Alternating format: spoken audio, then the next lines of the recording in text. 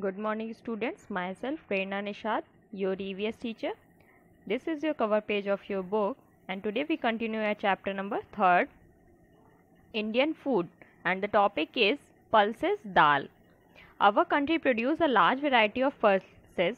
हमारी जो कंट्री है ये एक लार्ज वेराइटी की पल्सेस जो होती हैं उनको प्रोड्यूस करती है मतलब अलग अलग वेराइटी हमारी कंट्री में पाई जाती हैं these include moong, urad, gram and arhar. जैसे कि आपकी मूंग दाल हो गई, उड़द की दाल, ग्राम, अरहर, ये सब। Oil seeds to cook our food we use oil हम अपने खाना बनाने के लिए ऑयल का यूज़ करते हैं। These oils are obtained from oil seeds जो हमें ऑयल सीड से मिलता है। Groundnut soybean mustard sunflower coconut are important और इंपॉर्टेंट ऑयल सीड्स आपके मूंगफली हो गई, सोयाबीन मस्टर्ड मतलब सरसों सनफ्लावर कोकोनट ये सब क्या है? इंपॉर्टेंट ऑयल सीड्स होते हैं जिनसे हमें ऑयल प्राप्त होता है, मिलता है।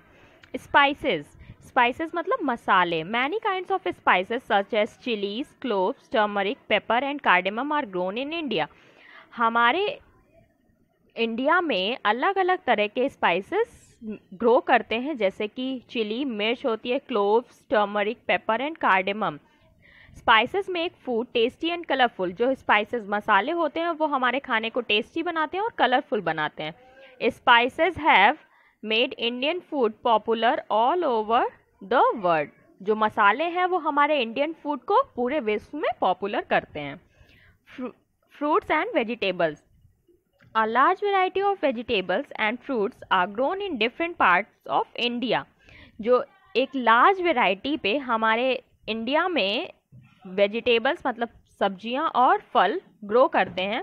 We eat different fruits in different seasons जो अलग अलग सीजन्स होते हैं, उसमें हम अलग अलग फ्रूट्स को खाते हैं। जैसे Himachal Pradesh is famous for its apple जो हिमाचल प्रदेश है वो एप्पल के लिए प्रसिद्ध है। Cherries and strawberries are grown in Kashmir जो चेरीज होती हैं और स्ट्रॉबेरीज होती हैं, वो कश्मीर में ग्रो करती हैं। Mangoes grown in summer and grapes grown in winter जो आम होते हैं, वो समर में ग्रो करते हैं और विंटर में आपके अंगूर आते हैं। Coconut is grown mainly in the coastal region of India जो कोकोनट होता है, वो आपके कोस्टल रीजन में ग्रो करता है। Bihar is famous for lychees and Nagpur for orange आपका बिहार जो है, वो लीची और नागपुर के लिए फ़ेमस है। Apricot are grown in Ladakh apricot क्या होता है, वो आपको लद्दाख में ग्रो होता है। Pine grow in Goa Kerala and Assam pine जो होते हैं, वो गोवा में केरला में और असम में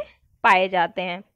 Beside fruits vegetables are also grown region wise सब्ज़ियाँ भी क्या होती हैं? इसी तरह अलग अलग रीजन्स में अलग अलग ग्रो की जाती हैं।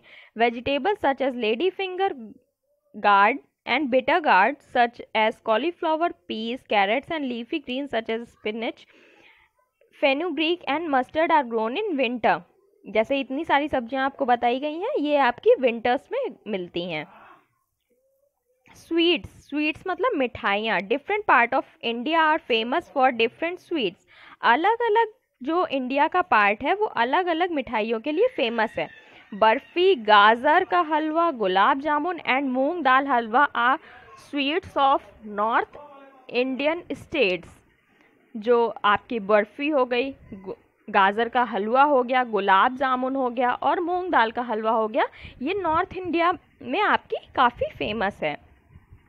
Rasgulla sandesh and chamcham are made in the east ये जो रसगुल्लाज होते हैं शौंदेश मिठाई है चमचम है, ये आपकी ईस्ट में ज़्यादा पाई जाती हैं particularly particularly in West Bengal कहाँ पे? पश्चिम बंगाल में। Shrikhand and aamras are sweets from the western part of India shrikhand और आमरस कहाँ पे पाई जाती है? आपकी वेस्टर्न पार्ट में पाई जाती है। Mysore pak is a famous sweet made in southern region Mysore pak is जो है वो आपकी साउथ में काफ़ी ज़्यादा पॉपुलर है। बच्चों आज के लिए इतना ही. Thank you